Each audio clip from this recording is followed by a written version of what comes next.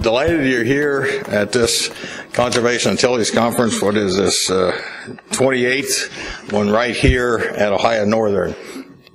We're to, we're beginning with uh, two sets of awards, and then at uh, 9:15 we'll have our keynote speaker Lee Breezy uh, come up here and will be with us for about an hour.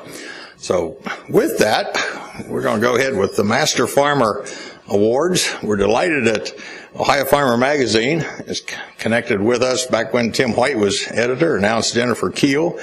And we're delighted that uh, she's going to present two Master Farmer Awards, and they're both here. Fantastic. we, we missed one one year. Anyway, Jennifer Kiel, editor, Ohio Farmer Magazine. Good morning. Um, the Master Farmer Award is reserved for a very elite group of individuals who consistently demonstrate outstanding farm management, innovation, conservation, and leadership. Ohio Farmer has bestowed the prestigious Master Farmer Award on individuals who have demonstrated how to farm more effectively, efficiently, environmentally, and economically.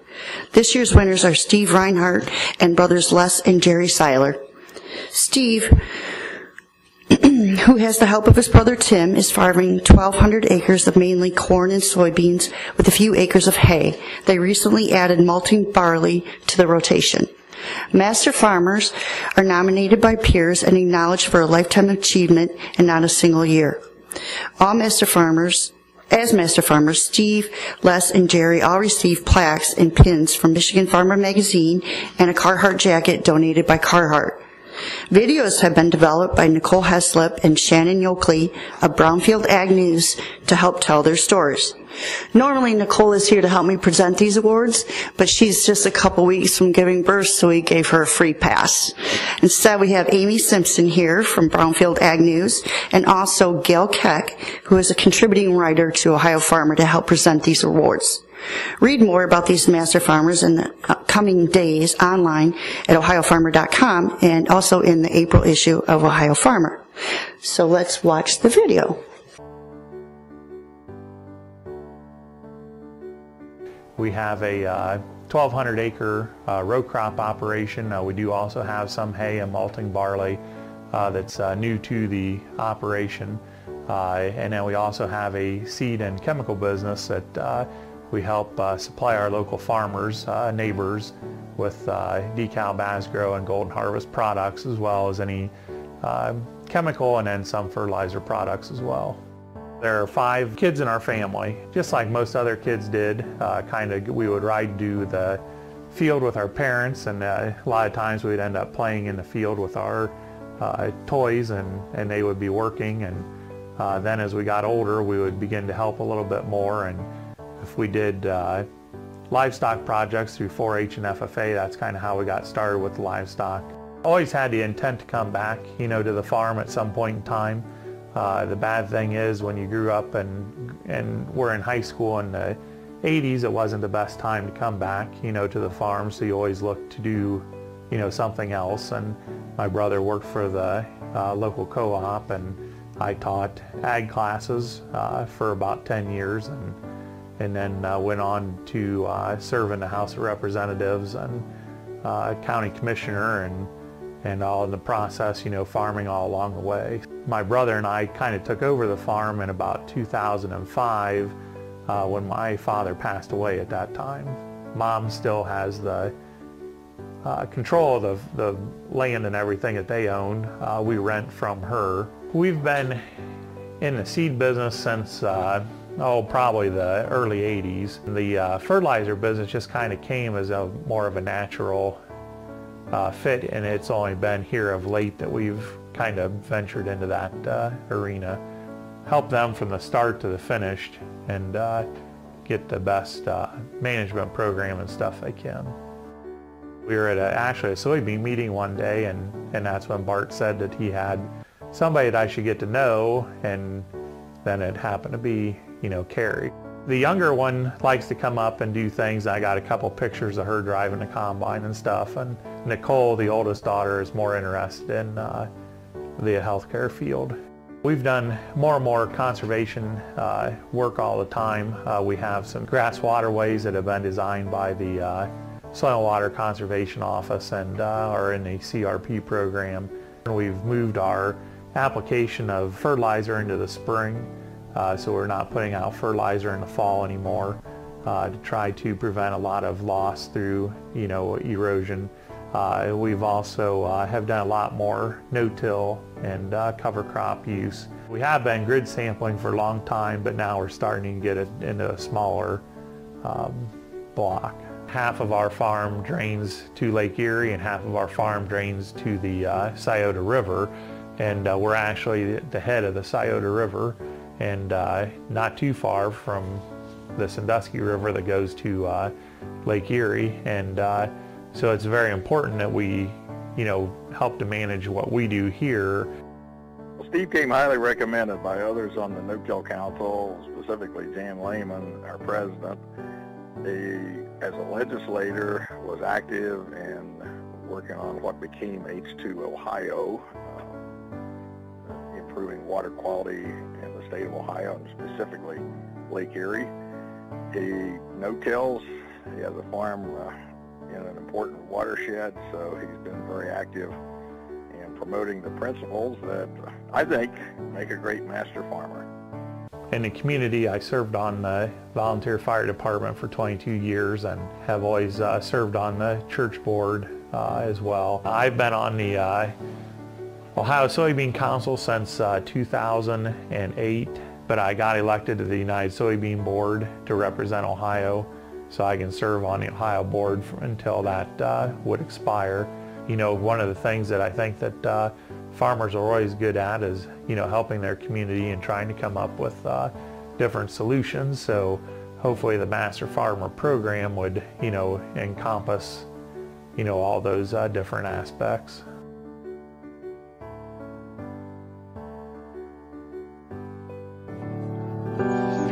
Congratulations, Steve. You join me up here, please.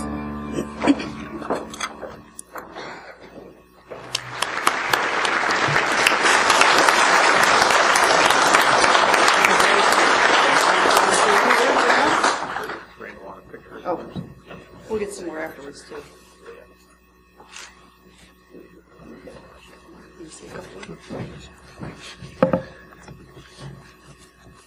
Well, thank you, Jennifer. And uh, Randall, it's quite an honor to have uh, be presented the Master Farmer uh, Award. Uh, I would like to thank uh, Keith Kemp and Dr. Lines and Jan Lehman for their support. Uh, I'd like to thank my parents as well. Uh, like I said in the video, in the 1980s, it wasn't the best time to start farming, so we've had several jobs and along the way, and it almost looks like you can't hold a job, I guess, as far as go from teaching ag to the state house and then back to the farm again. So in the state house, we worked a lot on bioproduct development, uh, working on the CAFO uh, application rates, ethanol and biodiesel. And then Todd Hesterman, uh, my friend here, is uh, with serves with me at the Ohio Soybean Council, and there we've been able to advance uh, soybean use uh, into a lot of different products, including four tire lines now at Goodyear, tire and rubber, and then with our cooperation with USSEC, which is our exchange program. Uh, we're also working in Bangladesh, Nigeria, and India, trying to open those markets up to soybean exports as well. So, uh, been a good uh, um, time to be in agriculture, and I think it's going to continue to be a good time in agriculture. And uh, hopefully, with the designation of the uh, waters of the Lake Erie, we have been able to work on the H2 Ohio program to present to the governor, and at least we have some options now to work with uh, you know, reducing those phosphorus loads, and I think that's going to be a, a benefit as well. So, uh, thank you.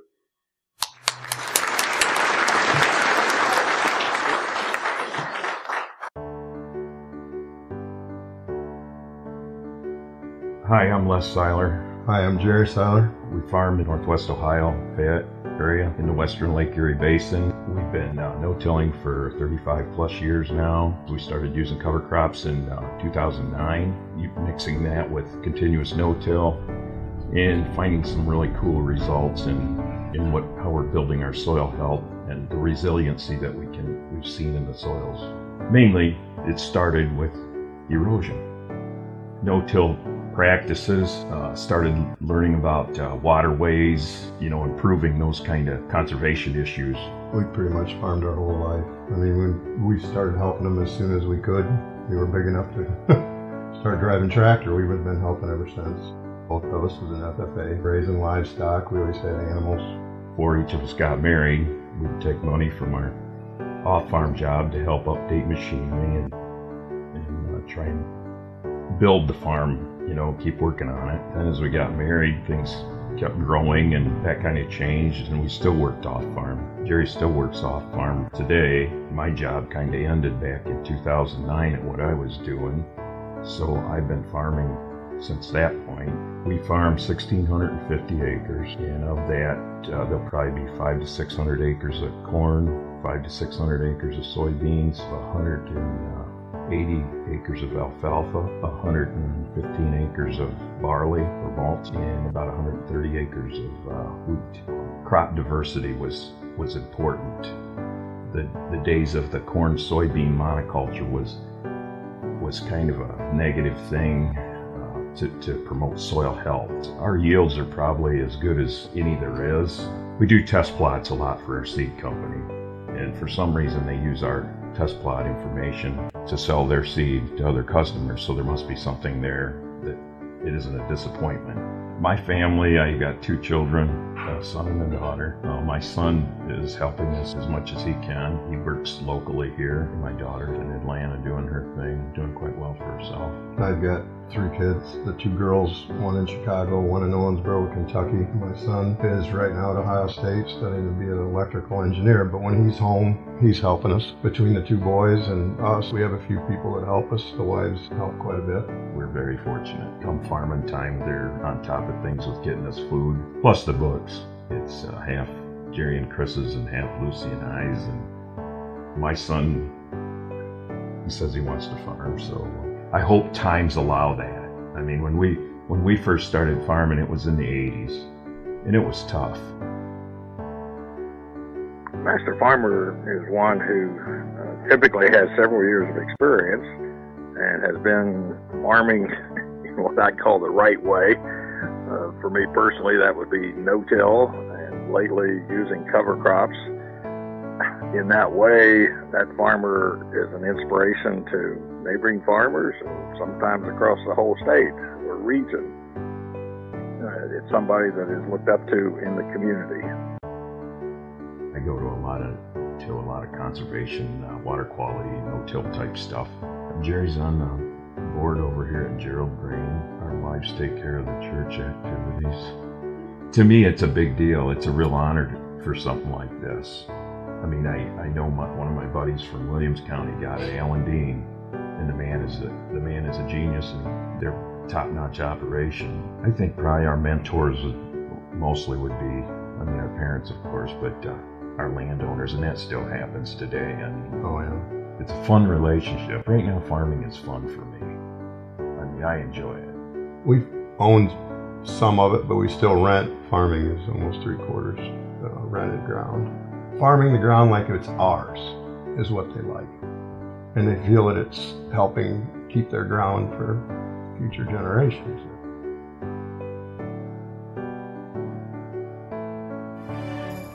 Congratulations, Les and Jerry. Will you join me at the podium?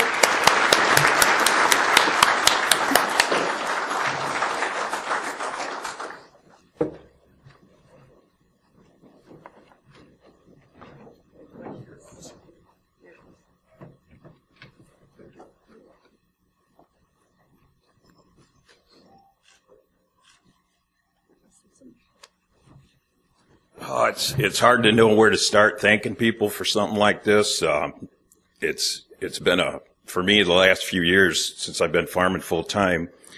You don't realize how much you appreciate it, the task you've got, and uh, managing through some of the decisions we have to make. It's it's really been fun, and I I want to say thanks to everybody involved here, the Randall and uh, our wives. Uh, for goodness sakes, we couldn't do it without our families and uh, feel very blessed.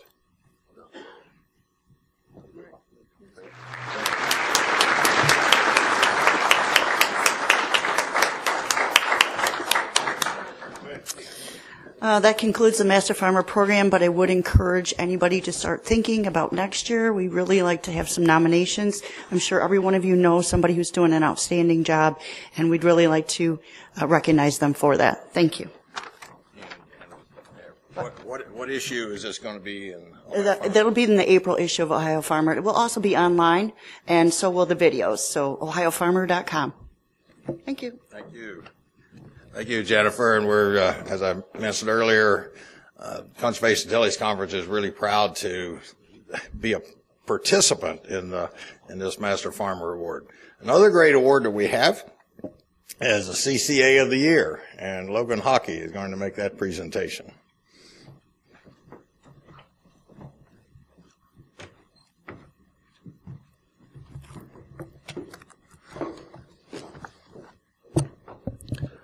Good morning. Um, I'm Logan Haake, Chair of the Ohio CCA Board. I bring greetings to you on behalf of the board serving more than 560 certified crop advisors in Ohio. And I am very pleased to have just celebrated our 25th year of program in 2019, marking 25 years of knowledge, experience, and dedication of Ohio CCAs serving our industry. As a service to the Ohio CCAs from the Ohio Board, please stop at the Ohio CCA booth um, in the trade area uh, to receive your uh, just released Ohio Weed Guide. As a, as an aid to serving your clients with appreciation from your board. And now, since 2003, the Ohio CCA program has awarded an Advisor of the Year award designed to recognize an individual who is highly motivated, delivers exceptional customer service for the farmer, clients, and nutrient management, soil and water management, integrated pest management, and crop pr- production, and has contributed sustain- sustainably to the exchange of ideas and the transfer of agronomic knowledge within the agriculture industry in Ohio. This year's recipient, recipient has more than 32 years of crop advising experience and service. In fact, he was among the very first individuals to become a certified crop advisor. As senior agronomist at Tiger-Sul Products LLC, Wesley Haun is responsible for developing nutrient management plans and managing harvest data as well as conducting, supervising, and managing on-farm soil fertility research across various areas of the United States of America and western provinces of Canada. According to his nominee, Michael Dinnerline, Wesley has the ability to translate technical information into layman's terms to enhance farmers' ability to comprehend. His conservative approach to advising other CD, CCAs and farmers has served him well, as evidenced by his growth from retail to international crop advising.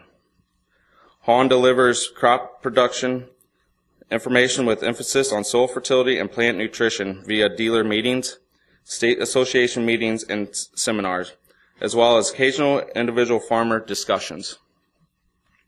He is frequently asked to share his wealth of knowledge at international conferences and on research trips abroad. And it is my honor to present the 2020 Ohio Certified Crop Advisor of the Year Award to Wesley Haun of West Liberty, Ohio, and team member of Tiger-Sul Products LLC. Wesley, could you please come forward?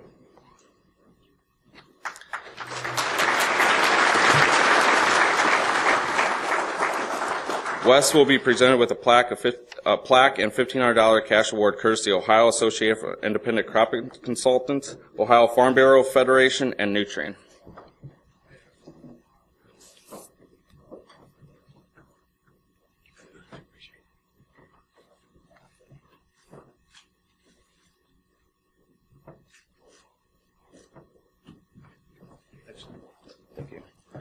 Again, congratulations, Wesley Haun, Ohio Certified Crop Advisor of the Year Award.